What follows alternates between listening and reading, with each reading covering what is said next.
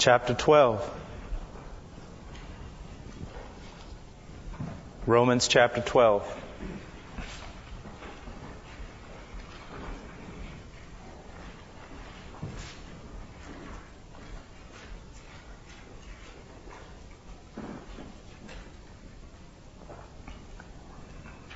To begin, let's, let's go to the Lord in prayer. Father, Lord, I come before you and I pray that you would help us.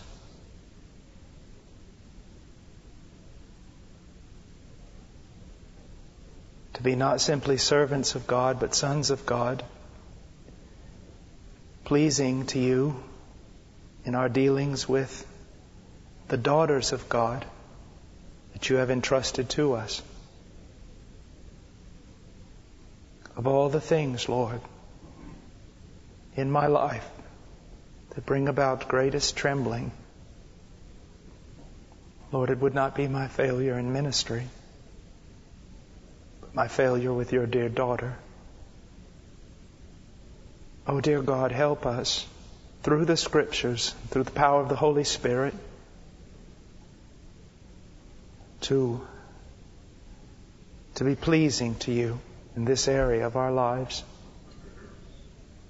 to lay down our lives for the person that you have given us, that you love so dearly. Father, please help me to say a word. Direct us through this, Lord. And Lord, I don't pray for eloquence or, or words or to even fulfill my time given to me. But, oh Lord, that we would see the seriousness of that great thing that has been entrusted to us. Help us, Lord. In Jesus' name. Amen.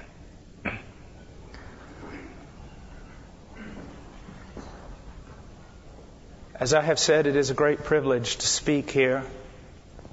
It is a great privilege to speak about the glory God. And it is a fearful thing to preach about marriage.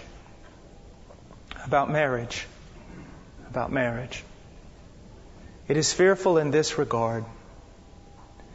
If, if you worked for me, I was the CEO and owner of a certain company, and you worked for me. And um, you weren't that effective. You had some problems. I might even lose some productivity because of you. Well, I would probably be willing to work with you a few more years, trying to instill in you characteristics of a good worker, of a good employee, I would still have hope that I would be able to do something with you. I would not become exceedingly angry with you, no matter how much you failed in my enterprise. But if you were my top employee and half the income of my company was because of you, and yet you were also my son in law, and you mistreated my daughter, there wouldn't be a place on the face of the earth that you could hide. The point that I'm trying to make with this is this. You're fearful about your ministries. You take great stock and great pride in the fact that you are a careful servant of the Most High God. Don't think that's a great thing. Beware how you treat His daughter.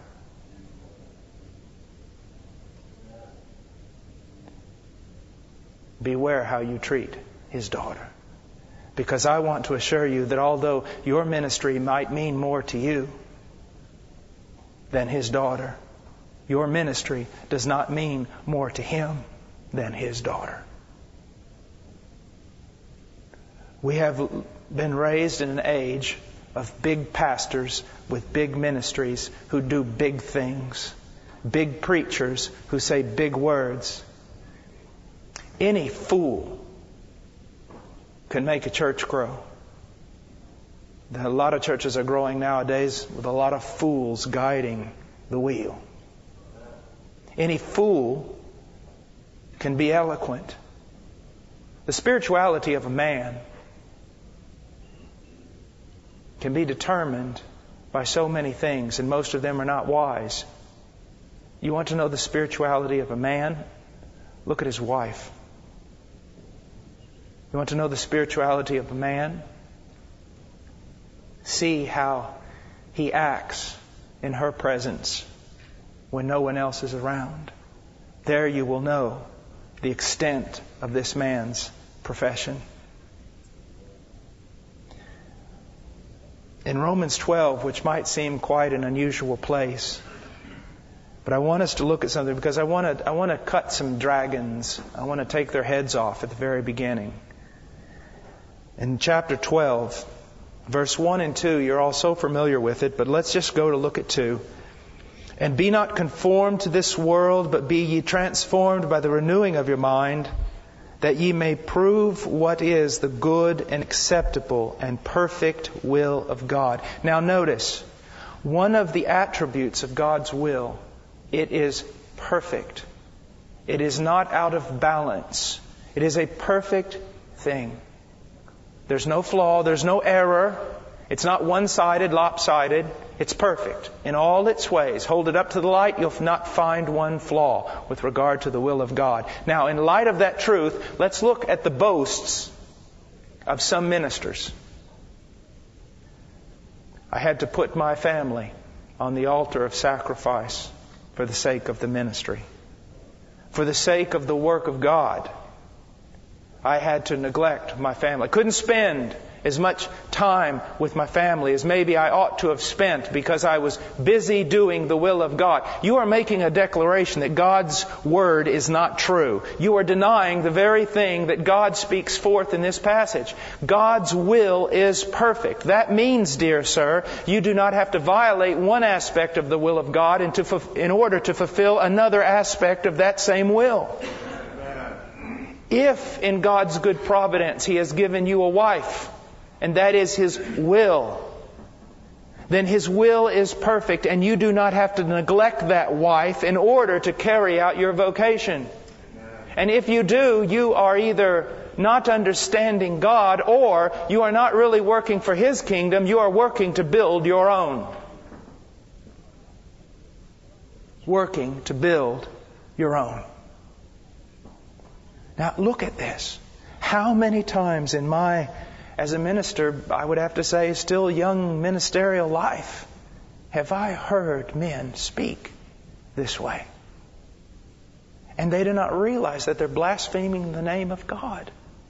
They're saying that God's will is not perfect. I have children, and they're a gift from God, but I don't have time for them because I must do God's will. How absurd is that? How absurd. We might be running wildly in the ministry, doing all that we can, possibly because we do not understand grace and we still have a works mentality. We might be running wild in ministry, doing all that we can, working too much because we fear men.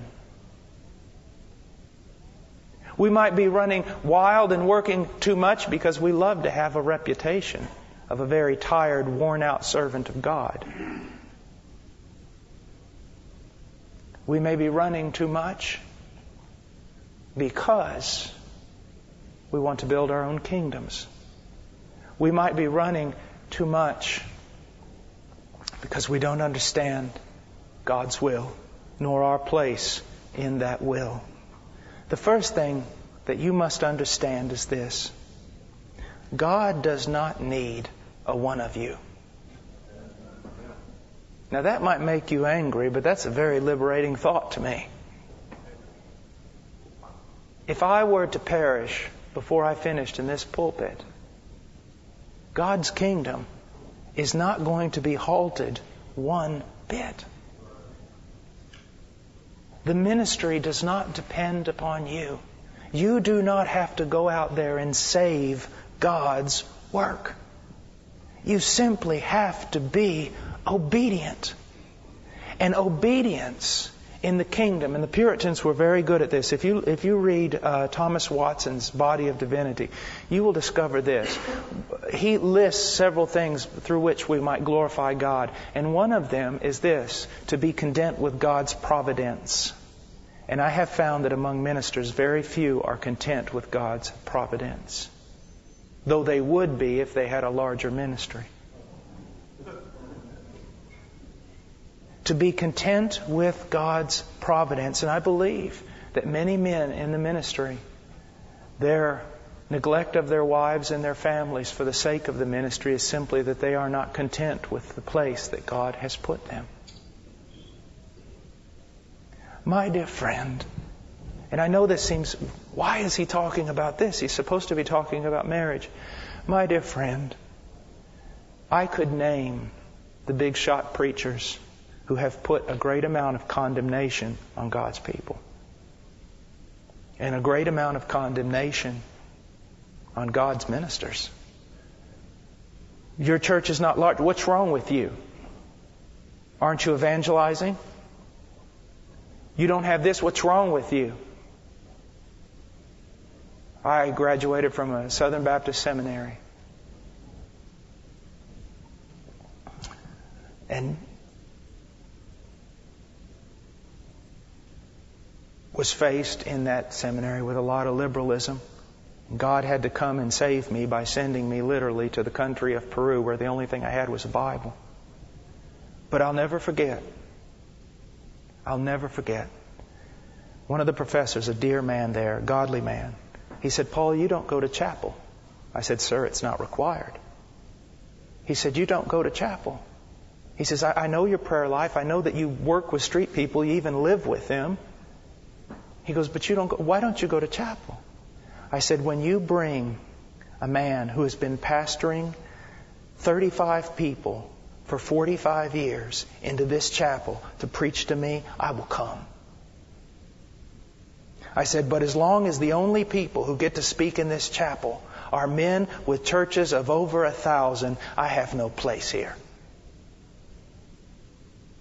When your definition of what it means to be a man of God changes, I'll come to chapel. And I believe that with all my heart.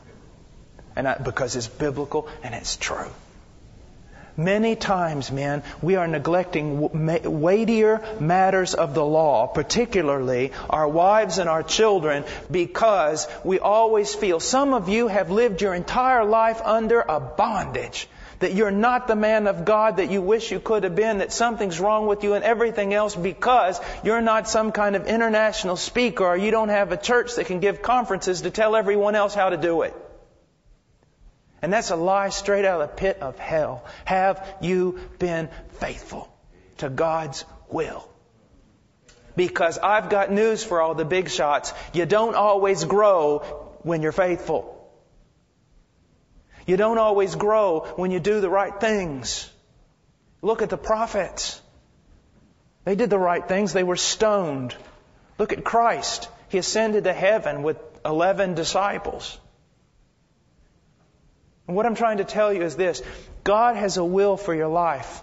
But so many ministers measure their obedience and their walk with God not by seeing if they are balanced in that will, obedient in that will, but looking at their ministries and the supposed earthly success of them. And this has to be addressed before we can talk about marriage. It must.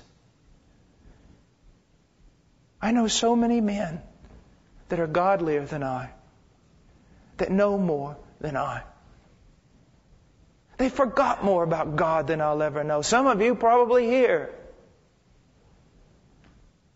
I always ask myself, why is this brother preaching in this small place and no one knows about, and why am I standing before 5,000 people? When I have a problem, I call that man up and he tells me things I could have never even dreamed of. Do you know what it is? It's the providence of God. And it's God using the ignoble and the unwise to confound the noble and the wise, the weak to confound the strong.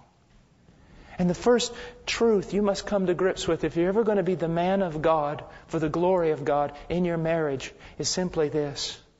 Come out from under these false ideas of what it means to be a success in the ministry and seek to be an obedient child of God, come what may. Come what may. How many men of God in the Bible, the great patriarchs of the faith, had families so messed up it was unbelievable. Would you really want to have King David come and teach you a conference on marriage? Would you want Abraham to do so?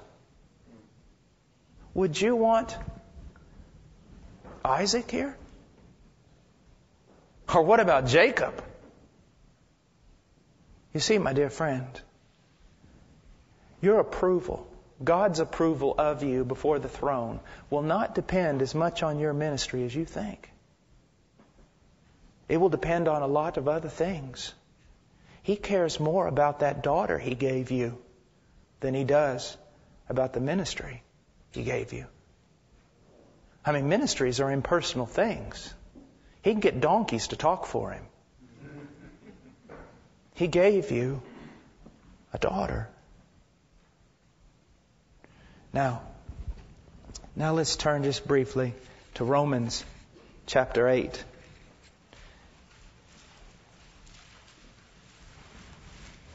The working of God in a marriage. Now, most of you, this probably won't affect you as much, but maybe it will help you teach others, younger men, when they come to you, your sons, when they come to you. And um, I want us to look at, at verse 28 of chapter 8 of Romans. And we know that all things work together for good to them that love God, to them that are called according to his purpose. For whom he did foreknow, he also predestinated to be conformed to the image of his Son, that he might be the firstborn among many brethren. Now, everything that God is doing in our life is for our good. It's number one. Number two, our good is quite different from what many people think. Our good, the good that God is working all things towards, is to conform us to the image of His Son. The image of His Son. God is sovereign over all things, sovereignly working in our life, and He's doing all these things. Everything, not some things, all things. Why? in order to conform us to the image of Christ. Now, step back here for a moment. A young man walks into my office and he says, I want to marry this girl. And I say, Why? And he says, Well, um, I, am attracted to her. Uh, I like being around her. When I am with her, when uh, you know I feel good, uh, we can talk, we get along, uh, we like to serve the Lord together. Uh, she's just a, such a blessing to my life. I just I just want to marry her. And I said, well, young man, let me just see if I've interpreted you correctly. You want to marry this girl because she meets all your selfish, self-centered needs. Is, is that right? Is that what you're telling me?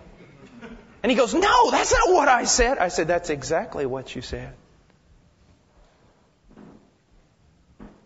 What happens, young man, when you can't talk to her? And some other woman comes along with whom you can discuss things. Are you gone? She's beautiful. Yes, she's beautiful. What happens when she's not as beautiful? And what happens when the devil sends around another woman who is more beautiful? And he will. What then? He said, Pastor, I, I, I see what you mean. Well, I hope so. Now, what is the basis for marriage? The providence and will of God. You see, here's how it works. Marriage is not unlike the calling into ministry. It's not unlike it. The basis of it, at least. And what is that? God has called me with an irrevocable calling to lay down my life for a specific daughter of His. That's all there is to it. Now, I know I've taken a lot of the romance out of it, but the foundation of the whole thing needs to be strong before we start speaking about romance. God has called, from heaven, God has called me to lay down my life, to die for this daughter that He has appointed, that He has ordained. where's the escape hatch? Where's the exit? There is none. Well, what about me? What about you? Can you not entrust yourself to the sovereignty and providence of God? You see, it works like this. Now look at my marriage. Now look at it. My wife is beautiful, wonderful, glorious benefit. Praise the Lord. But my wife is deformed in a terrible car accident. She can do nothing but drool. Where do I go? Nowhere. Why? God has called me to lay down my life for this daughter of His. My wife and I can talk. Oh, we can talk all night. Wonderful benefit. Glory. God's blessed you my wife and I have trouble talking, let's say. We get into a discussion in not even five minutes. It seems like we begin to pick at each other, let's say, someone says. Well, you know, we just, we don't have any fellowship. It just seems like we're completely two different personalities and everything else. Where do I go? Absolutely nowhere. Why? You have been called of God to lay down your life for this daughter of His. Period. Amen. Do you see how the sovereignty of God works? That's why I disagree with most books written on marriage today. I disagree with most of them because they're wrong. And why are they wrong? They say the goal of marriage is to achieve this thing where you're walking into marital bliss. It's not. The goal of marriage is to conform you to the image of Christ. That's the goal of marriage. Now, in God's sovereignty, this is what He's done. He has given you a woman in His sovereignty that is strong in all the points where she must be strong so that you are not tempted beyond what you can bear. But also in the sovereignty of God, He has given you a woman with divinely orchestrated weaknesses. He's given you a woman wherein she is weak in some places where you would give your right arm for her not to be weak. And why? Because His great purpose in your life is to conform you to the image of Jesus Christ. And what is, if we were to sum up this image of Christ, what would we say? Well, what do we sing about? We sing about what? Do we sing about His wrath? Not much. We sing about His unconditional love, His mercy, and His grace. Now, here's something about the fall of the world and about your wife. There's, there can't be unconditional love in a place where someone meets all the conditions.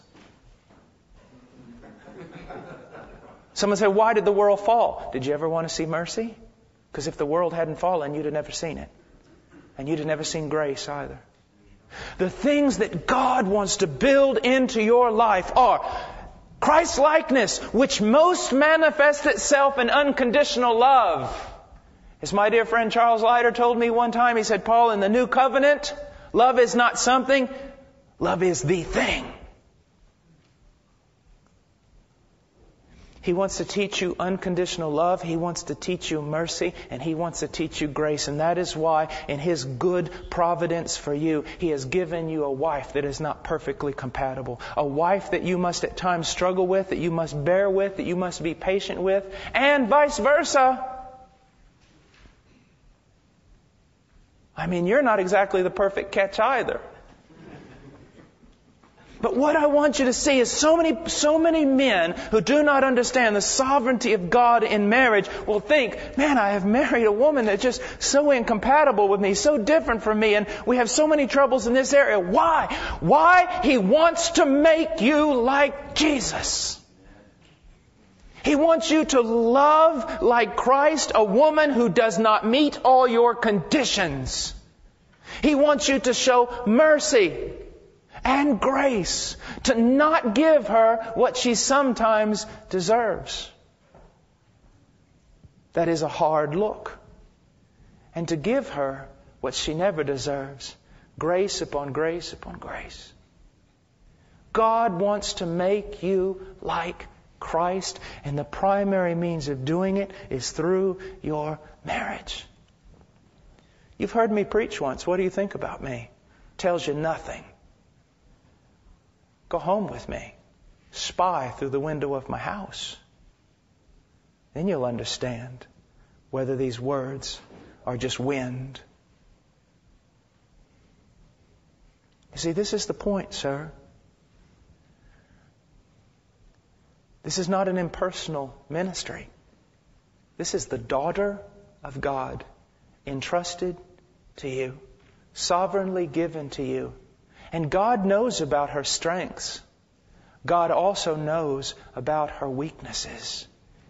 And it are those weaknesses in her that's going to conform you to the image of Christ more than the strengths.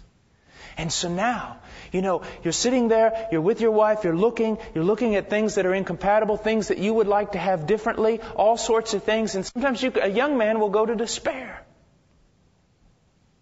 A young man will be depressed. A young man will be bothered about all these things. But a man who knows the Word of God will be able to look and praise God more for the weaknesses in his wife than the strengths. Because that man knows that those weaknesses have also been divinely appointed in order to do him good. To do him good. And that's why this passage is so, so very important. Now, let's go to, of course, Ephesians 5.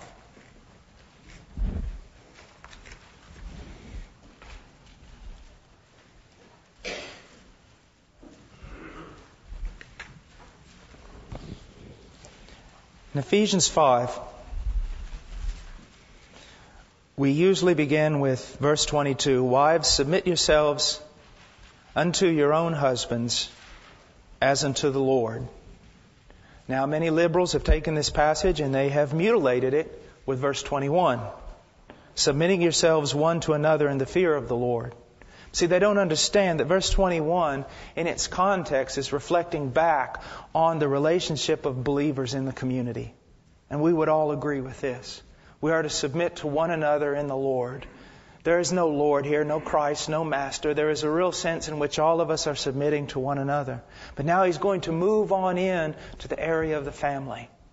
And in the families, submit yourselves one to another turns into wives, submit unto your own husbands as unto the Lord. Now, this text has been denied by liberals, but it's also been taken by Bible believing Christians to enslave women. How do we interpret this? We interpret this passage in the context of what?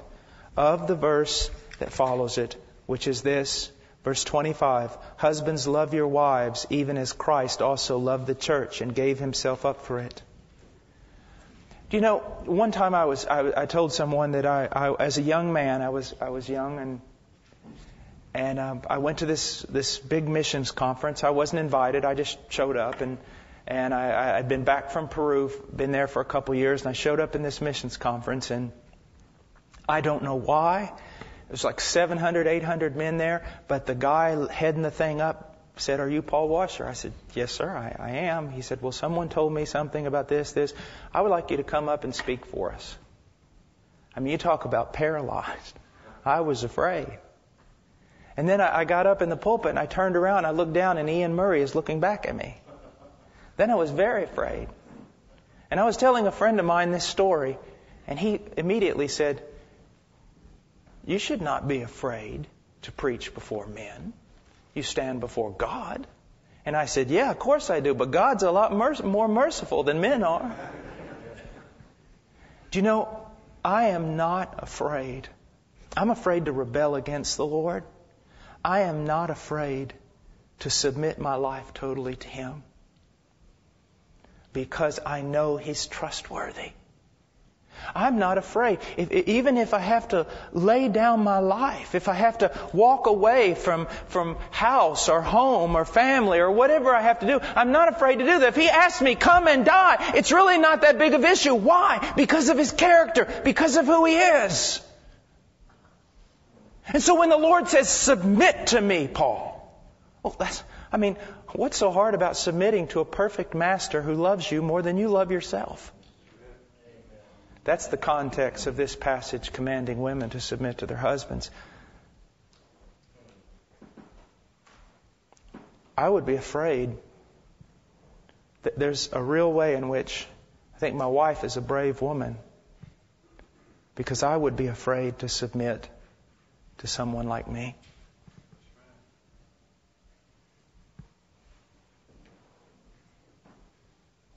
You know those passages that we take to heart when the Lord says, you know, the master of the house went away and the one he placed over the servants begins to beat them and not give them their food and he comes back and deals harshly, cuts them to pieces, he does. Look at that in the context of marriage. And these are not servants, these are daughters. These are daughters. Yes, this woman of God she has her problems, but this is not a conference about her, it's about you. This is a daughter of God who, yes, she must submit. She's been commanded to submit to you. But you have been commanded to love her as Christ loves the church. And if she does, if she does not submit to you, then you have very little to be afraid. She's a rebellious woman. If she submits to you, be afraid. What account, what holds, you have a sword hanging over you. If this woman gives herself unto you and treats you as her head, and you do not live up to that role, you abuse that role, you use it for your own advantage or for your ministry, and be terrified. Because she always will be a person just like you before the throne of God. Blood was spilt on Calvary for her. Let me just, now just, just listen, okay? I'll tell you where it's at, but just listen to this. He that hath an ear, let him hear what the Spirit saith unto the churches. To him that overcometh will I give to eat of the hidden manna, and I will give him a white stone and in that stone a new name written, which no man knoweth, saving he that receiveth it. And say, what that have to do with marriage? Is this referring only to men or is this referring to all the people of God? It's referring to all the people of God. Anyone who overcomes. Your wife is not an extension of you. She is her own person before the throne of God. And one day, a white stone will be placed in her hand with a name written on it that you, sir, do not know. She knows it, and her Lord knows it, but you do not know it. Do you see what I'm saying? You're not connected to everything. You're not the Lord of Lords of her world. She does not only find value before the throne because she's married to you. She is a daughter of God by her own right and by the right of the blood given for her. You have been called to be her head, but do so with fear and trembling. Now, it says, back to Ephesians 5,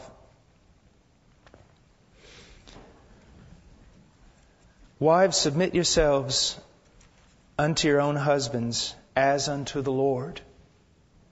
That statement is, is ferocious. I mean, that statement is so cutting. It has such a blade on it that my wife is to submit to me as she would submit to the very Lord of glory. You say, boy, that ought to be a frightful thing for her. No, it's not.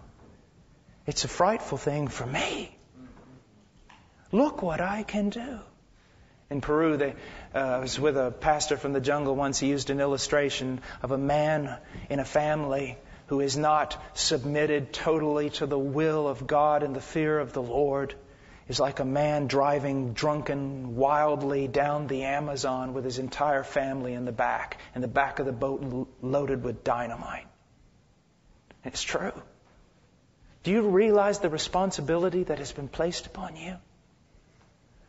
that people are called to submit to you as unto the Lord. It ought to cause you, to whom much is given, much is required. It ought to cause you to live out your life with fear and trembling. That this is a woman who will one day stand before God. This is a woman who will stand there alone without you. This is a woman who will receive a white stone with her name on it that you know nothing of. This is a woman who will be rewarded by God as a handmaiden. And this is a woman that may be the source of your judgment. Depending on the way you obey Christ. Now, here's something very important that I'm always teaching women, but it's good to teach men at the same time. This care that you are to have of her does not depend on her response to you. That's one of the greatest problems that happens in marriage today. Everyone's waiting, uh, one person is waiting for the other person to be worthy of the treatment they're commanded to give them.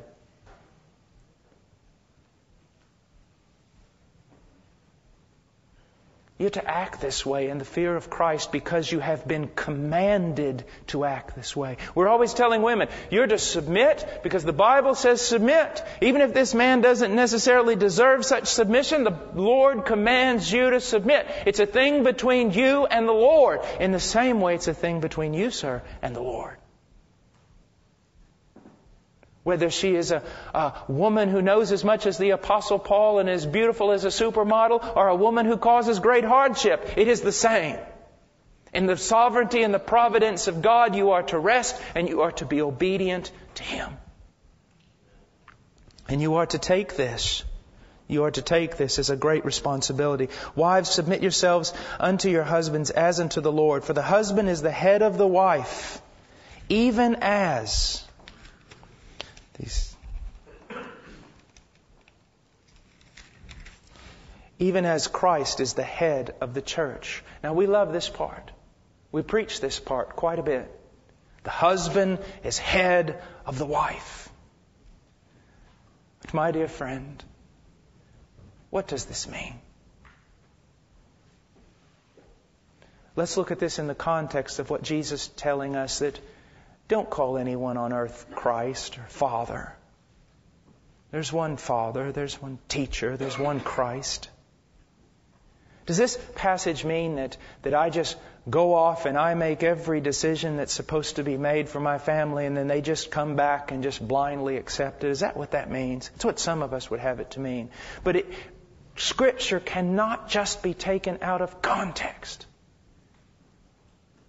I would say that the best way to teach this is to illustrate it. I say that the Lord, I begin to believe that the Lord wants me to go to Siberia and wants my family to move there as a missionary. Or let's say that we have to sell our home. I feel like the Lord wants us to sell our home, or we want to buy a home, or any type of decision, whether it be in the secular category or the sacred category, even though these two categories no longer exist. Do I just go make the decision? No, I don't. I am one with that woman. Yes, I'm head, but what am I going to do? I'm going to go to her and I'm going to say, darling, um, I've been offered a, a, work in Siberia. I have to make the decision by August 3rd, and um, I really feel like it's God's will that I go, that we go as a family. And if she says, you know, Paul, I, have been praying about this, and man, I, I think you're right. Well, that's a great confirmation, isn't it? But what if she says, Paul, I, I, I'm just not sure about this. Are you sure that you're hearing from God? Am I going to take that as an attack on my masculinity? Some men would. Some fine Christian men that have learned well, supposedly, would take that as an attack. Or a rebellious woman there was no rebel in her voice. It's a daughter of God. She didn't say, You're an idiot. She didn't say, There's no way. She just said, I'm not sure about this. Do you know in some circles of Christianity, fundamental Christianity, fundamentalist, and I am one, I guess you could say, I don't know what I am, I believe the Bible. In some circles, that would be treated as rebellion. Well, I'm glad I'm not in those circles. She humbly and lovingly had a problem. And you know what I'm going to do as the man of God? I tell you what I'm going to do. My wife has been right a lot of times. I'm going to, I'm, a red flag immediately is going to go up in my heart. And I'm going to go, well, then I'm going to give more time to prayer. I'm going to pray with you. And I, just whatever you feel like the Lord is telling you, you know, just let me know. And let's say that we finally come to unity on the thing. Praise the Lord. Let's say that we don't. But I still, I still feel strongly that we must go. I must make the decision today. It must be made. My dear friend, I have to make it. As the man, I am called upon to make that decision. Now, I have counseled with my wife, I've done everything, and I'm going to go to her and I'm going to say, honey, in this particular issue right now, we're not in agreement, but we have to make the decision. And I'm the head of the home, and I've got to make it. It's a call I have to make. I'm going to make it. Now, what is she to do? She's required to follow her husband. She is. Now, I haven't lorded over her. I haven't treated her as some insignificant part of my life or an extension just of me. What I have done is this. I have counseled with her. I have asked for her help. I have asked for her thoughts. But if push comes to shove and a decision has to be made, yes, I must make that decision. But rare has it ever been that case. Usually when there's not unity and there's not a deadline, we don't do it. We don't do it. I'm talking about an extreme, extreme situation. And then, what if we do make that decision? She submits to it, even though she doesn't agree with it, and I'm right. And she sees later on that I'm right. Should I glory over her? No. But what if I'm wrong? Should I deny it?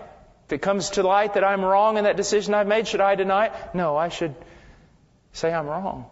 And should she glory over me? Absolutely not. See, we need to be very, very careful. Some men take this passage and they don't treat it as Christ would. They treat it as the Gentiles do, lording it over others, holding it over others. And that is not the way. Now, let's go further because I'm trying to cram in seven different lectures in this, this one thing. Now, we always talk about us being the head of our wives like Christ is the head of the church. Do you really want that responsibility? How does Christ exercise his lordship over the church? Have you ever have you ever sat down and tried to think of that? Have you ever met a lord and a master who was who showed greater kindness than the lord of the church? Have you ever met a master who was more gentle, more patient? Have you ever met anyone who put up with all your failures in such a loving way as the one who is Lord over the church? You see, we, we forget. We think that it's just submit to me as though you were Christ, as though I were Christ. But at the same time, we're supposed to act like Christ. And how does Christ Lord over His church? With thunderbolts and lightnings and dimensions. No, most of the time He spends wooing His church, doesn't He? Loving her, wooing her, patient with her, kind with her. If she makes one tiny step forward after 300 steps backwards, all of heaven breaks out in applause. Do you really want Christ to treat the church like you treat your wife? We'd all be in hell.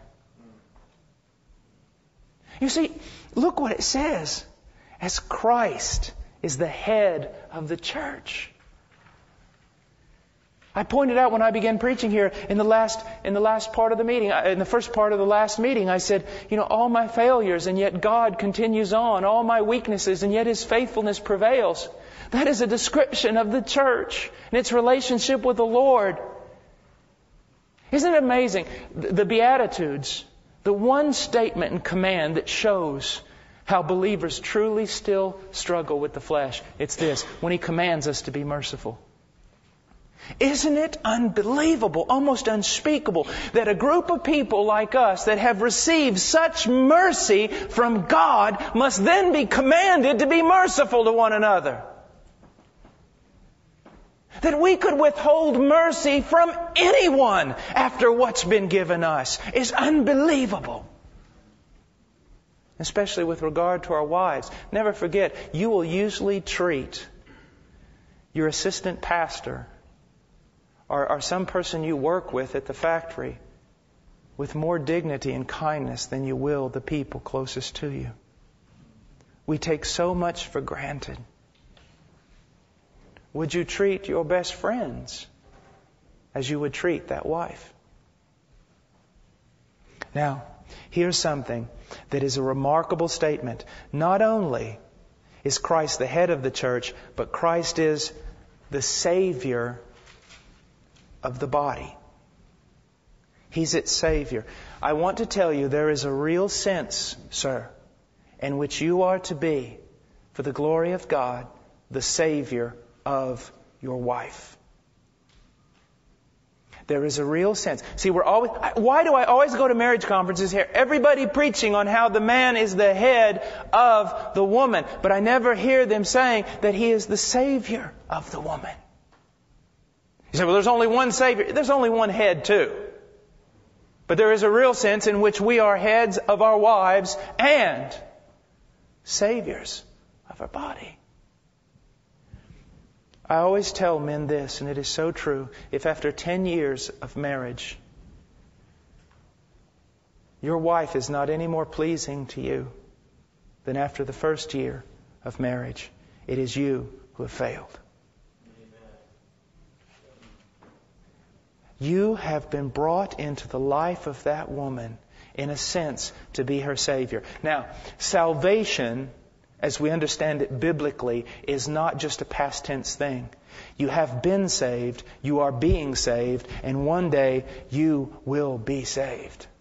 In the same way, this work of sanctification that the Lord is doing in His church, you are to be doing in the life of your wife.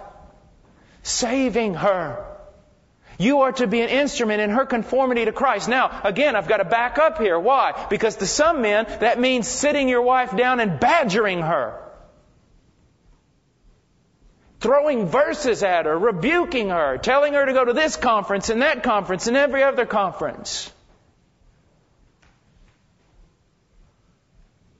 How to have a better wife? I'll tell you. Become more Christ-like. You have a woman who is not grateful? Then you be grateful for absolutely everything good in her life and allow her to see it. Be grateful for everything that's put on the table. Be grateful for every little thing that she does that is positive and is a work of obedience. You have a wife who's not merciful? Be merciful to her.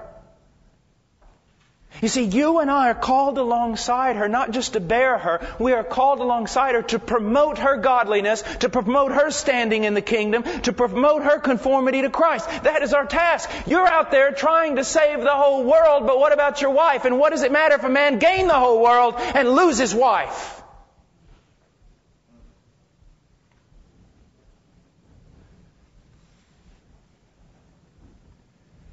It is a relational sort of thing.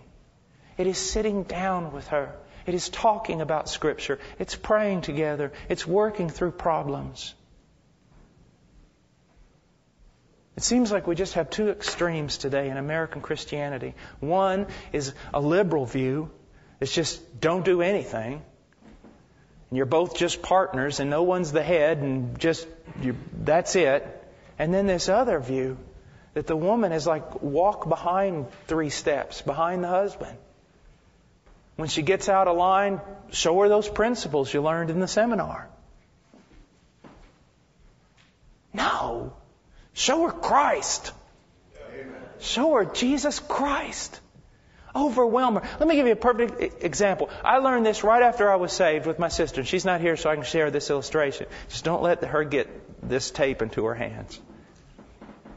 My sister, she, women, I don't know. I was raised on a farm. You go in the bathroom, it looks like a torture chamber in there. They've got things to curl their hair, straighten their hair, do this, do that, everything else. I mean, looks like you just, plugs going everywhere. And I'm in there and I'm, I'm washing my face. I'm going to go somewhere and I see something plugged up and I pulled the plug out. I thought, don't want to cause a fire hazard or anything. This thing's turned on. No one's using it. I don't know what it's for. It looks like an iron or something. Pull it out. I go in my room, finish dressing. I'm everything fine. All of a sudden, my sister shows up.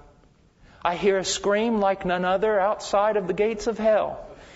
And then she runs towards my door hair going in every direction, terrified me. I'm a bold man, but not that strong. Terrified, I said, she goes, you idiot! I'm late. I've got to curl my hair. I've got to do, what is wrong? You stupid, leave things alone. Now, normally, prior to conversion, I would have been right back up in her face. And the battle would be on. But for some reason, miracle, I went, you know, you're right. I'm very sorry for unplugging your thing. And she went, and she was mad because she couldn't get mad. She was mad because I didn't do what she wanted me to do so she could justify her actions against me. How many times, how many times have I come in from ministry having to deal with so many silly problems of silly people? just just flustered with everything. Come in, you know, it's seven o'clock. Meal's not ready because one of the boys got sick or something, and I'm sitting there and I go, "Where's food?"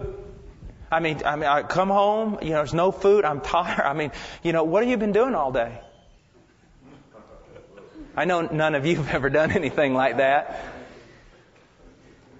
And if she turns around and gives it to me up one end and down the other, the battle is on. But if she turns around and she says, Paul, I, I'm so sorry.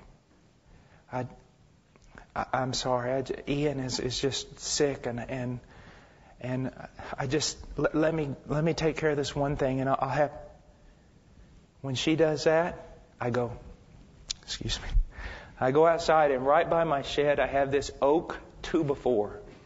And I stay out there for about an hour. If you've ever heard screams coming from the north, it's me. And I beat myself. And, and I sit there, and it's just what the Bible says.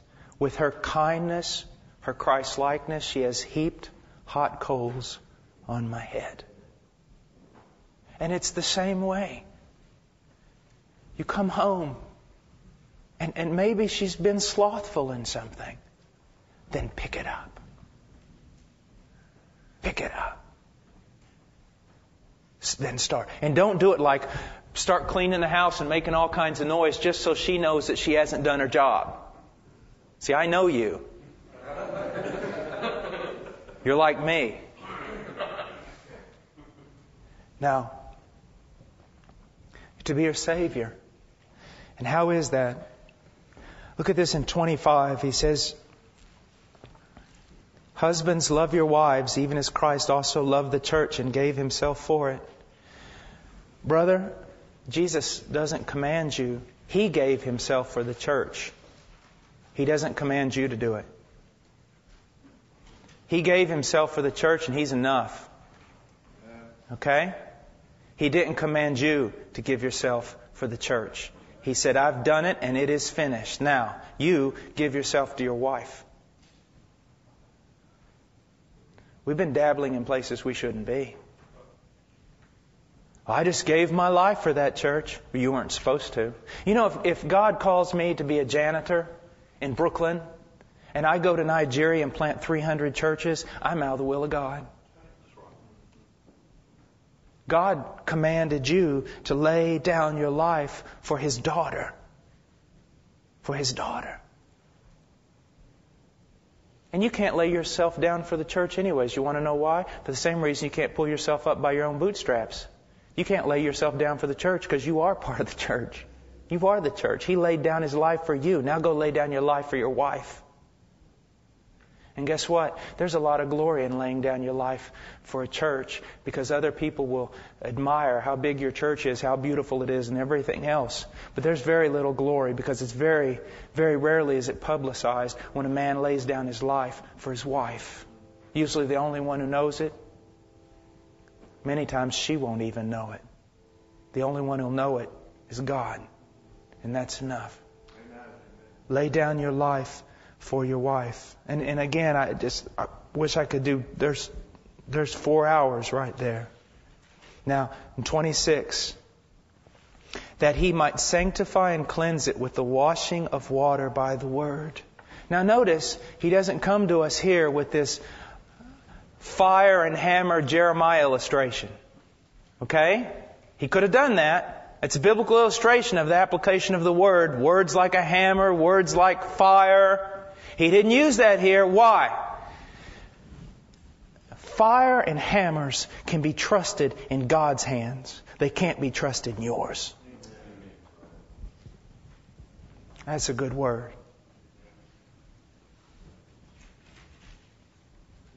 I make archery equipment, wooden bows to hunt with. And I've made my boy when he was one year old, he had his first bow.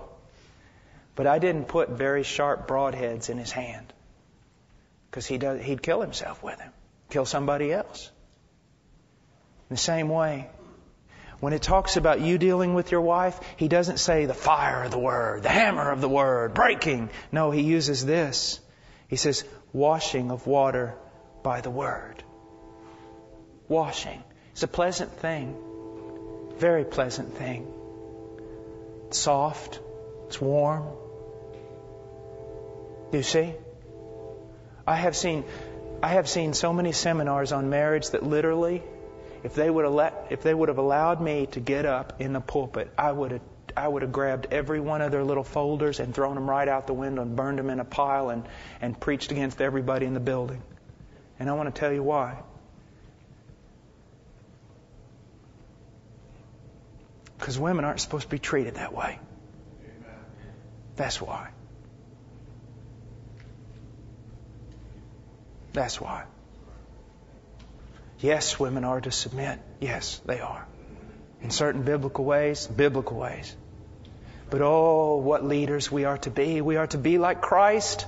I know of a man in Missouri that literally, psychopath in his, in his home. I mean, it, it was unbelievable. He almost killed everyone in his family with his ideas of, of submission and this and that. But he was very selective in his reading. Very religious, but not pious. No love, no devotion, no mercy, no grace, just rules, demands, hammers, fire, blowtorch in his case, flamethrower. His wife had even begun to believe she wasn't even a person before God anymore. That's not of Christ. And he says, sanctify and cleanse with the washing of the word. Your sanctification, how long have you been a Christian? How long has this sanctification been going on in your life? Your wife doesn't get it after one year? Throw her out and then go to hell. Because that's exactly where you're going. The Lord, some of you men, one brother here said he's been a Christian for how many years, brother? Over 40 years. Over 40 years, the Lord has been teaching him the same things. Over 40 years, the Lord has, now I don't, I don't know him well enough to say this, but I just know this about the Christian life. Over 40 years, the Lord has been teaching him something. He's learned it and he's forgotten it, and the Lord's taught it to him again and again and again and again and again and again and again. And guess what? Until the day of glory, he'll not give up. A wonderful passage in James. Ask the Lord for wisdom, because he gives wisdom without rebuke, without reproach. You say, what's that have to do with marriage? Well, here's the, what James is talking about. You need wisdom. You go to God. You ask for wisdom. He gives it to you. You don't use it. You get messed up again. You go back and ask Him for more wisdom. He gives it to you without scolding you for what you did with what He gave you first of all. He is so patient. And you are to be working in your wife's sanctification, praying for her, teaching the Bible to her, together learning the Word. There's so much your wife can teach you. I didn't even understand Proverbs 31 until my wife taught it to me. Now, verse 27, this is where we'll end. That he might present it to himself a glorious church, not having spot or wrinkle or any such thing, but that it should be holy and without blemish. After so many years of marriage, can you present your wife to yourself as pleasing? Well, then maybe your work of sanctification hasn't been going on very well. You see, there is a sense in which the Lord saves us. And we are not pleasing to Him. We are so immature, so full of self, so many things, so everything wrong with us. But He is working and working and working patiently, and one day He will present us to Himself and we will be pleasing. If you look at your wife after so many years of marriage and she is not pleasing, your process of sanctification must be flawed, at least some. Are you actively, are you actively, consciously involved in your wife's sanctification? In a loving, gentle way? That's a question I ask myself.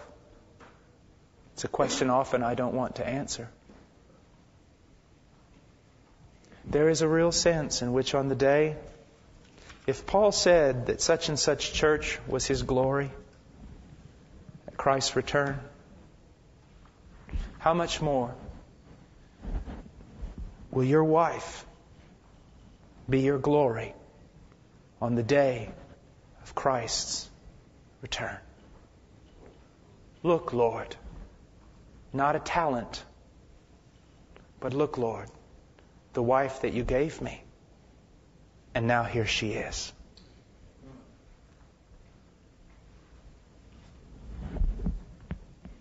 You think that He gave you a wife, and this is the wife He gave you, and the wife you're to have.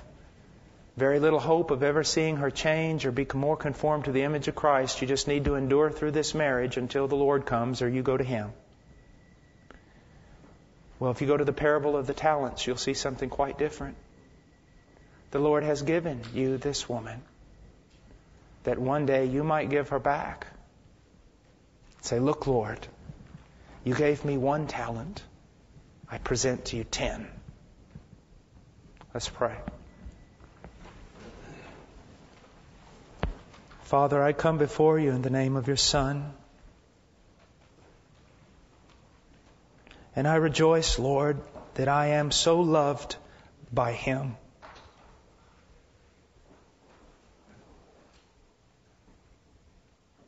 Lord, help me to love my wife.